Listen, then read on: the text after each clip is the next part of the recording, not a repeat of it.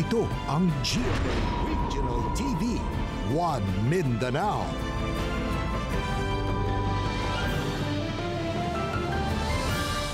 Mayong hapon Mindanao, kini ang GMA Regional TV 1 Mindanao. Hatod namo ang pinakadagko ug pinakauling balita sa Mindanao.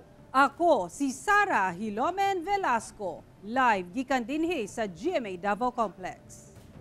Cyril Chavez, live gikan dinhi sa GMA Cagayan de Oro Station. Efren Mamak live desde aquí na GMA Zamboanga Station.